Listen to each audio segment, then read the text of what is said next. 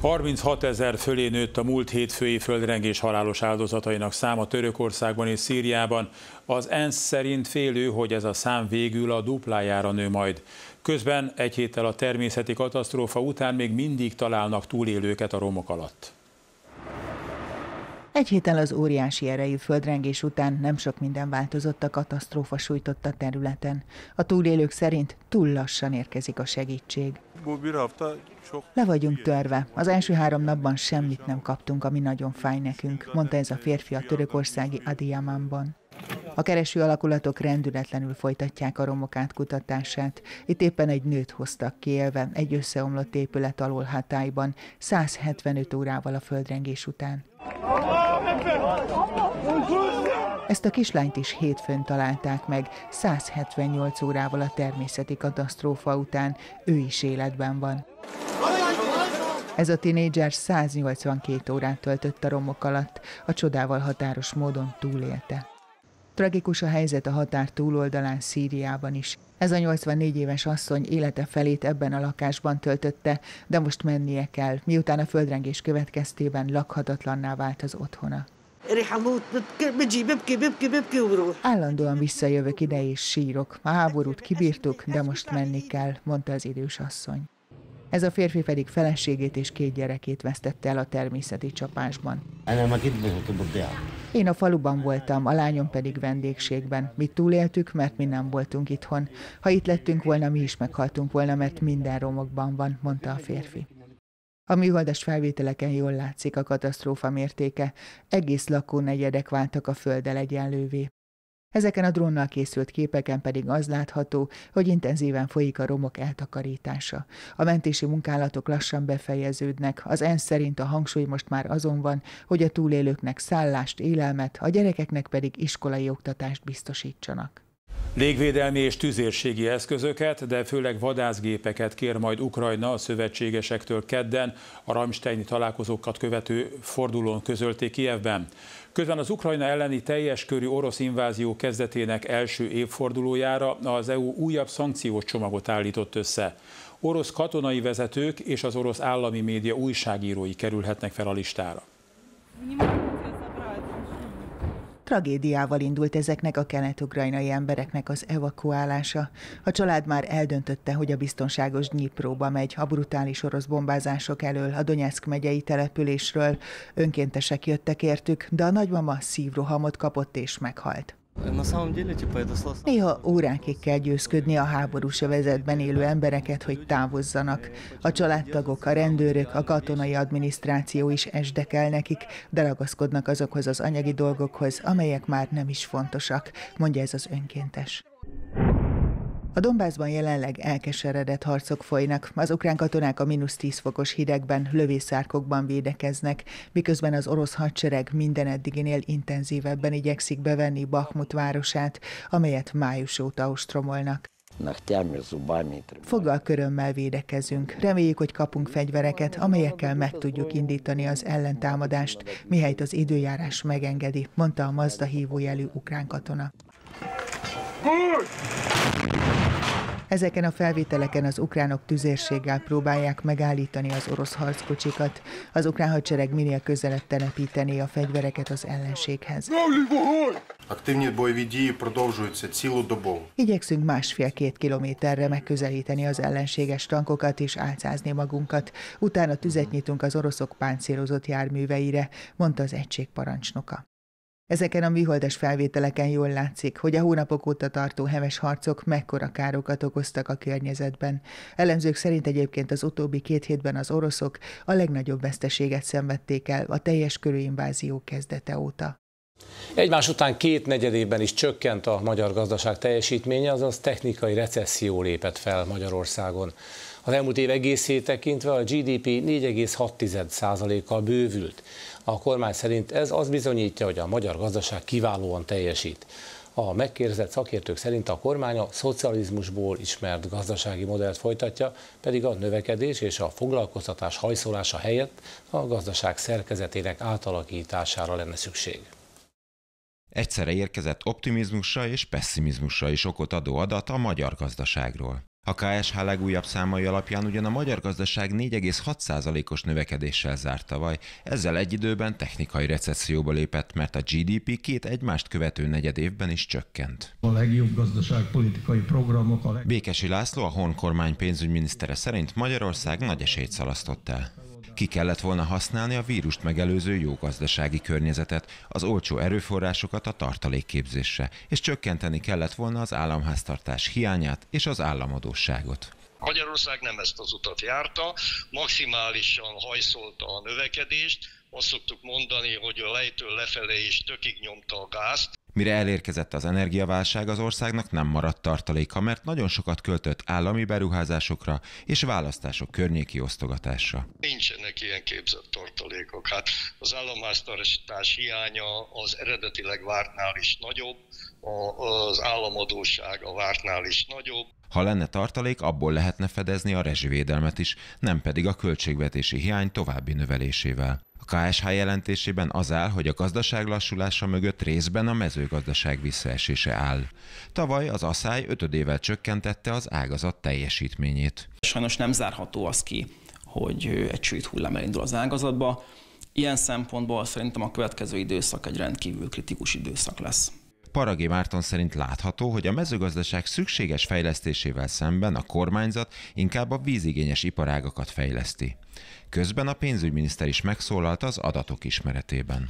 Az elhúzódó háborúk és a brüsszeli szankciók ellenére is növekedési fázisban maradt tehát a magyar gazdaság. Varga Mihály szerint ez azt mutatja, a magyar gazdaság ütés és válságálló. Mellár Tamás szerint ugyanakkor a kormány tevékenysége inkább káros. Nem hiszem egyébként, hogy jó dolog az, hogy most ünnepeljük magunkat, hogy milyen magas növekedési ütemünk volt, ahelyett egyébként, hogy azt mondanánk, hogy milyen mértékben tudtuk a gazdaság szerkezetét megváltoztatni, különös tekintettel egyébként az energiára. A közgazdász inkább az alternatív energiára való átállást, a magas hozzáadott értékű termelést és a versenyképes gazdaságot támogatná. A mentőkutyák nélkül nem lett volna esély rá, hogy ennyi túlélőt találjunk, ezt mondta a híradóknak nyilatkozó baptista szeretett szolgálat elnöke. Huba Rescue 24 nevű mentőcsapatuk vasárnap tért vissza Törökországból, stábunk két mentőkutyával és gazdáikkal forgathatott.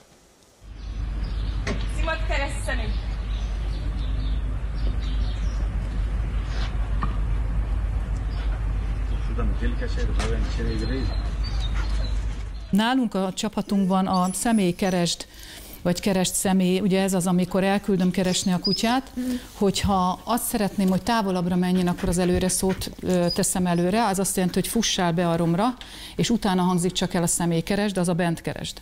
Scott belga juhász kutya élő embereket jelez ugatással. Egy kutya nem kutya elv van, tehát az, hogy egy kutya akár jelez szemét, akár azt jelzi, hogy nincs ott személy, akkor jön egy kontrollkutya.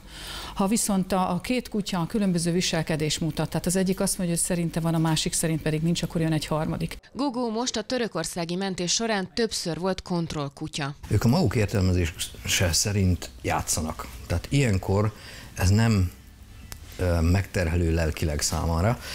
Sokkal inkább az a probléma, hogy fizikailag, tehát hogy dolgozik 10-15 percet, ott átkutat egy területet, majd 20 perc múlva, amikor éppen bóbiskolna elfelé, akkor újra igénybe van véve. És ez a fajta folyamatos nem alvás és folyamatos nem pihenés, ami egy picit rongálja az ő teljesítő képességét. Arra viszont gondosan odafigyelnek a kutyák gazdái, hogy a következő napra kipihenjék magukat. Gogó egyébként az a kutya, amelyik megsérült a mentés során. Én már láttam, hogy hová ugrik, szóltam, hogy állj, meg is állt a levegőben, és akkor ott, mint a rajzfilmekben így zutty lepottyant az üvegszilánkokra. Ezek a kutyák valódi kincsek, eh, hiszen eh, nélkülük nem lett volna esély arra, hogy ennyi túlélőt találjunk.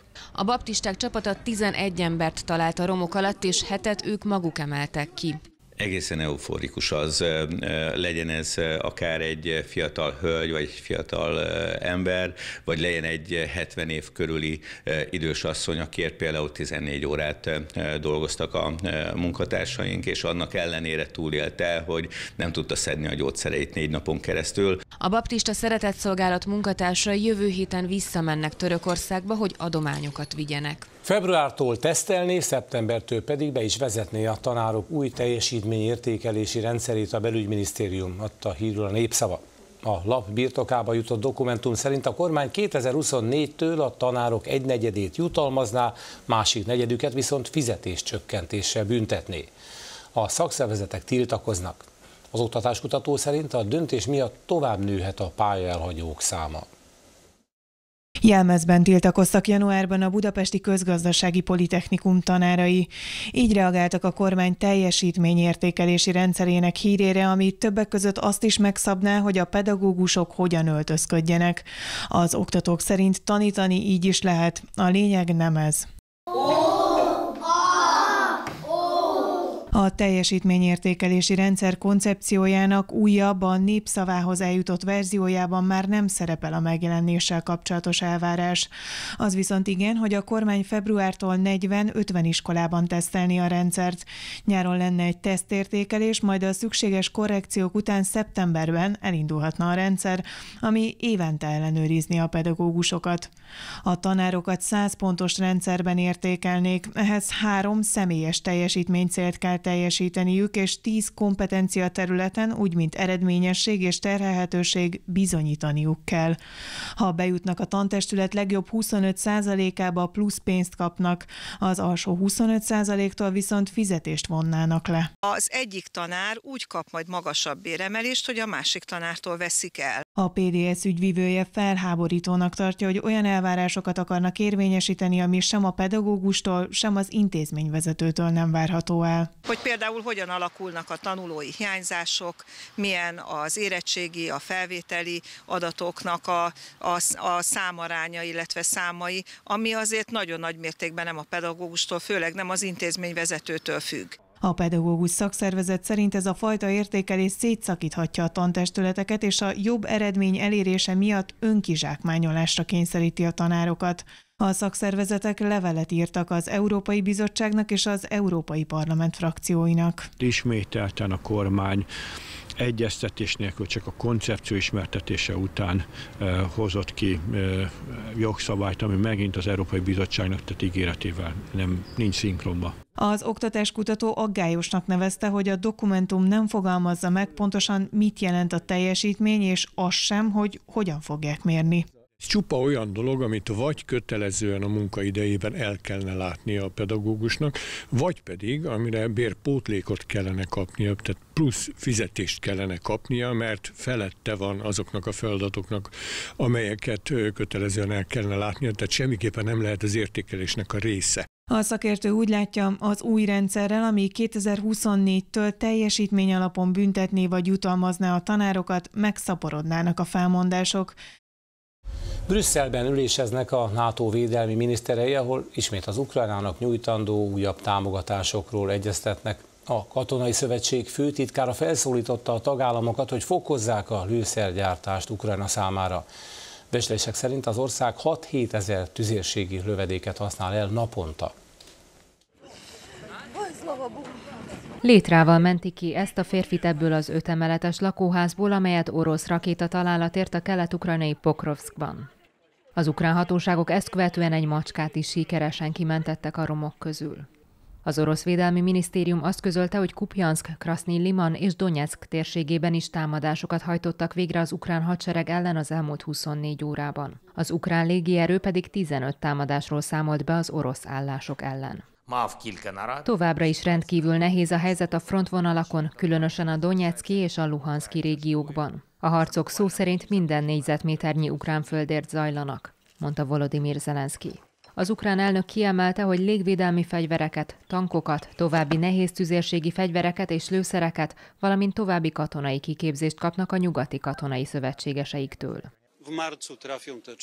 A Leopard tankok márciusban érkeznek Ukrajnába. Jelenleg ukrán katonák kiképzése zajlik Lengyelországban, hogy március közepére képesek legyenek működtetni ezeket a tankokat mondta a lengyel védelmi miniszter, aki úgy vélte, hogy idővel és elegendő nyomással a nyugati partnerek harci repülők küldéséről is meg fognak egyezni.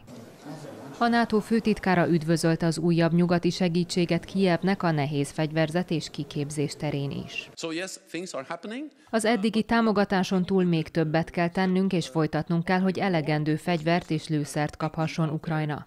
Ez már egy logisztikai háborúvá vált, amiben biztosítanunk kell Ukrajna győzelmét, és segítenünk kell, hogy visszafoglalják a területeiket mondta Jens Stoltenberg. Eközben Szergej Lavrov Moszkvában jelentette be az új orosz külpolitikai irányelveket. A megújult külpolitikai koncepciónk arra összpontosít, hogy véget vessünk a nyugat monopóliumának a nemzetközi élet keretrendszerének meghatározásában. Ezt az ENSZ alapokmányában lefektetett kiegyensúlyozottság és a minden államra vonatkozó szuverén egyenlőség alapelveinek kellene meghatároznia, vélte az orosz külügyminiszter. Az ENSZ humanitárius szervezete közben 3,9 milliárd dolláros humanitárius segítség összegyűjtésére kért a tagállamokat Ukrajna számára, amelyből több mint 11 millió embernek kívánnak segíteni. A magyar háztartások 61%-a vagy földgázból vagy áramból a rezsivédett kategória felett vásárol, 21%-uk pedig mindkettőből. Ez derül ki a KSH tanulmányából, amelyet a korábbi évek fogyasztásai alapján készítettek. A valóságos felhasználás viszont ennél alacsonyabban alakul, amit szakértők az enyhetélnek tudnak be. Az ellenzék a rezsiszabályok azonnali megváltoztatását sürgeti. A csökkentett gáz és áramár csak az átlag magyar háztartás fogyasztásának mértékéig marad érvényben. A kormány júliusi bejelentése után sokan féltek attól, hogy nem fogják tudni kifizetni megemelkedett számláikat. A KSH legfrissebb tanulmányában azt vizsgálta, hány háztartásnak kell emelkedő rezsiköltségekkel számolnia. Megállapították, hogy a háztartások több mint 61%-a szembesülhet magasabb gáz vagy áramszámlákkal. 21%-uk pedig mind az áram, mind a gáz tekintetében túlfogyaszt. A valóság kedvezőbben alakult a KSH fenti tanulmányánál. A kedvező időjárásnak köszönhetően nem kellett ennyi háztartásnak mélyebben a zsebébe nyúlnia. A tavalyi utolsó negyedévben a gázszámlák 78%-át nem érintette az emelkedés, ugyanez a szám az áramszámlák esetében 66%. Az viszont nagyon beszédes adat, hogy a nagy fogyasztó háztartások 80%-a 1990 előtt épült ingatlanban él. Az ingatlanpiaci szakértő szerint az ő ingatlanjaik értéke 5-10 millió forintot csökkent. Mégis sokan szabadulnának lakásuktól, házuktól. A kínálat rendkívüli módon elkezdett nőni, most 20%-kal több ingatlanból válogathatnak azok, akik a következő otthonukat keresik, a kereslet viszont fele annyira csökkent. Fontos eredménye a kutatásnak, hogy ezeknek a nagy fogyasztóháztartásoknak 29%-ában csak 60 éves vagy annál idősebb személy él. Voltak, akiknek a gyerekei azzal segítettek, hogy a nyílászárókat vagy a nyílászárók egy részét kicserélték. Egyébként ez az egyik legkomolyabb probléma, hogy aki nagyon szegény, az jellemzően olyan lakásban lakik, amely energetikailag rendkívül problémás. A DK megduplázná a kedvezményes áru energiamennyiséget és csökkenteni az áfát, mondta híradónknak Varjú László alelnök. A Momentumnak is vannak konkrét javaslatai. Akik a jövőben energetikai korszerűsítést hajtanak végre a házukon, azok előre megkapják az állami támogatást a most megemelkedő rezsőszegek kifizetésére. Emellett az ellenzéki párt azoknak segítene a legtöbbet, akiknek az anyagi helyzete azt szükségessé teszi, és területi alapon hozna létre intézkedéseket. Lantos Csaba energiaügyi miniszter az MVM csoport csütörtöki rendezvényén arról tájékoztatott, hogy a jelenlegi rezsiárakat az év végéig biztosan fenntartja a kormány. 42 ezer fölé emelkedett a múlt hétfői hatalmas erejű földrengés halálos áldozatainak száma Törökországban és Szíriában. Már hozzákezdtek a romok eltakarításához, nem bíznak ugyanis abban, hogy túlérőkre lelnek. A károkat 25 milliárd dollárra becsülik. Valóságos csoda, hogy élve hozták ki ezt a tinédzsert a romok alól Törökország dél-keleti részén, tíz nappal a pusztító földrengés után. A 17 éves lányt a mentő alakulatok óvatosan emelték ki, majd termál takaróba bugyolálták, 248 órát töltött a romok alatt. Remény azonban, hogy újabb túlélőket találnak az összedőlt házak alatt, egyre halványul. Adiaman városában már hozzákezdtek a romok eltakarításához. Aki tehette, elhagyta a települést, amelyet különösen súlyosan érintett a múlt hétfői földmozgás. Mi túléltük a 7,6-os magnitúdójú rengést, de rengetegen meghaltak. Sokan távoztak, de vissza fognak jönni, mert nincs hová menniük, merengett egy helyi lakos. Mások posztraumás stressztől szenvednek. Nekünk már nincs életünk. A gyerekeket elküldtem innen. Én a szabadban alszom, egy vödörben fűtök. A segélyekből tengődünk, épületben nem merek belépni, mondja ez a túlélő. Traumatizáltak a gyerekek is. Őket az önkéntesek arcfestéssel próbálják meg lekötni. Hayatımda böyle bu kadar korktuğumu Borzasztóan rettegtünk a földrengés alatt. Attól féltem, hogy történik valami a kis testvéreimmel, mondta ez a kislány. Ennek a török falunak a lakosait evakuálni kellett, miután a földrengésben meghasadt hatalmas szikla rádült a házakra. A földrengés utáni kilencedik napon újabb nagy robajra lettünk figyelmesek. A szikla tovább repett, és egy része ott függött a házak fölött, mesélte ez a helyi lakos. Nem történt senkinek baja egy másik veszélyes incidensben sem. Egy szenes kájha akkor robbant fel, amikor a török egészségügyi miniszter ellátogatott egy tábori kórházba. Ideiglenes szállásokon helyezték el a földrengés túlélőit a szíriai Latakiában is. Sokszor több család egy helyiségben zsúfolódik össze, ahol nem megoldott a fűtés. Három családból 16 fő lakik együtt. Mindannyian utcabeliek vagyunk, mondta az egyikük. A Vöröskereszt szerint járványok törhetnek ki a fedél nélkül maradt több százezer ember között Szíriában, ha nem helyezik el őket végleg. A közelkeleti országban nemzetközi segélyek is nehézkesen jutnak el a polgárháború miatt. Az előkészítő üléssel elkezdődött a fővárosi törvényszéken Völner Pál és Sádl György büntetőpere. A bírósági végrehajtói kar korábbi elnöke öltönyben, bilincsben, vezetőszáron érkezett a tárgyalóterembe ahol letartóztatása óta először találkozhatott a korrupcióval vádolt volt igazságügyi államtitkárral. A per óriási média érdeklődés és rendkívüli biztonsági intézkedések mellett vette kezdetét. Az előkészítő ülésen négy vádlott beismerte a bűnösségét. Rezzenéstelen arccal érkezett a bíróságra a korrupcióval vádolt volt igazságügyi államtitkár. Völner Pál negyed órával a tárgyalás kezdete előtt újságírók gyűrűjében ment a tárgyalóterembe. Újságírói kérdésre azt mondta, nem követett el semmit abból, amivel vádolják. Bölner Pál a vádlottak padján találkozott ismét az öltönyben, bilincsben és vezetőszáron érkező arcát maszkal eltakaró Sadül Györgyel, aki nem engedélyezte, hogy felvételeket készítsünk róla. A vádlottak és védőik felszólalnak. Nem mindennapi kép, hogy egy volt államtitkár ül a vádlottak padján. Bölner Pált és Sadül Györgyöt a végrehajtó korábbi elnökét és húztársukat korrupciós és vagyonelleni bűncselekményekkel, valamint pénzmosással vádolják. A 22 vádlottból csupán Völner Pál és a korábban több zsarolási ügyben is érintett R. Robert engedélyezte, hogy képeket készítsenek róluk. Köteles a megfelelőt és körülményt biztosítani a védelemre való felkészüléshez. A vádirat ismertetés előtt Sadő György ügyvédje jelezte, nem kezdhetik el a tárgyalást, mert nem kapták meg a teljes nyomozati anyagot.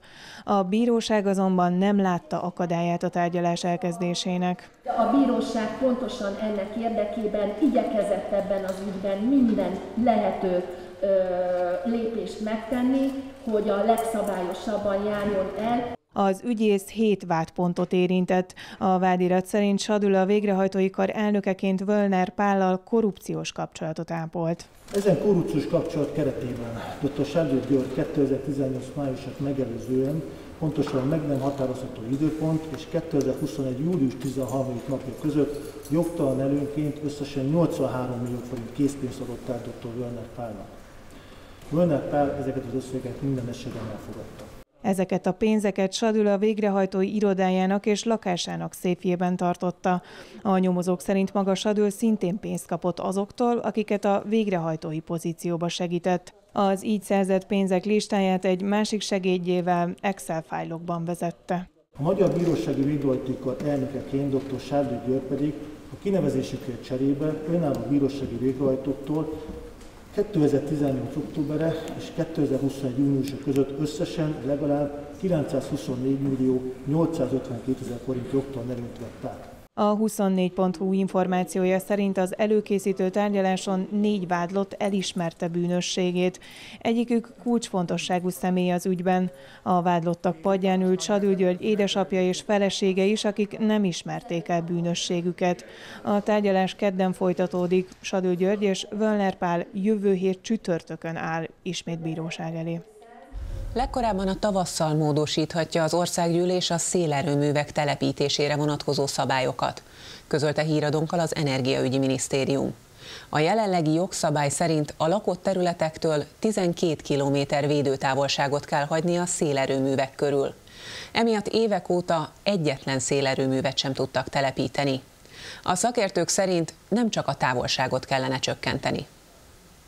Több mint 100 méter magas, évente 5-600 családnak elegendő áramot termel. Magyarországon 2000 óta 39 szélturbina működik, 179 toronnyal, főként az ország északnyugati részén. Szélerőműveknek számos negatív hatása van a hálózatbiztonságra. A kormány 2016-ban törvénybe foglalta, hogy a lakott területektől 12 km védőtávolságot kell hagyni a szélerőművek körül. Az Energiaklub térképén jól kivehető, hogy a törvény miatt hol lehet szélfarmot telepíteni. Jól látják, a sűrű település szerkezet miatt sehol. A kormánynak viszont most engedményeket kell tennie azért, hogy hozzáférjen az uniós helyreállítási alapból nekünk járó 5,8 milliárd euróhoz. Március 31-ig meg kell szüntetnie a szélerőművek telepítésére vonatkozó korlátozásokat. Csökkenteni fogjuk azt a távolságot, Arról, hogy milyen mértékben csökkentenék a távolságot, az Energiaügyi Minisztérium nem adott választ. Közölték viszont, hogy Magyarország adottságai miatt az időjárás függő megújulók közül elsősorban a napenergia hasznosítására támaszkodhat, de legkorábban tavasszal az országgyűlés módosíthatja a szélerőművekre vonatkozó törvényi rendelkezéseket. Legyen feloldva a telepítési stop. És... Az LMP emlékeztetett, már tavaly beadtak egy erre vonatkozó határozati javaslatot, amit most újra megtettek. A zöld párt szerint a kormánynak Paks 2 helyett a szélerőműveket kellett volna volna támogatnia, így az energiaválságot is könnyebb lenne kezelni. Minden elvesztegetett perc azt jelenti, hogy több pénzt fizetünk a külföldi importáramért, amit egyébként itthon meg tudtunk volna ilyen olcsó módon is termelni. A megújuló energiaszervezetek szövetségének elnöke eloszlatta a kételyeket. Nem csak az északnyugat magyarországi régió alkalmas turbinák telepítésére. A technológia ugyanis sokat fejlődött az elmúlt időszakban. A magasságtól nagyon függ a szélrögnek hatékonysága, tehát hogyha most mostani 100 méteres korlátot megszüntetik, és mondjuk 150-ig engedélyezik, ez lényegesen megváltoztatja a képet. Magyarországon a szélenergia kapacitás 330 megawatt, a napelemes teljesítmény 4000 megawatt. A szakértő úgy látja, a két megújuló energia tökéletesen kiegészíteni egymást. A szélerőmek ráadásul jellemzően ö, jobb kihasználtságot mutatnak éves szinten, mint a naperőművek, sőt kiegészítik azokat, hiszen inkább a téli fél évben termelnek jobban, és inkább az éjszakai időszakban, amikor a naperőművek gyengébbek. Ráadásul a szélenergia a legzöldebb energiaforrás, karbonsemleges és az erőművek alkatrészeinek 85%-a újrahasznosítható.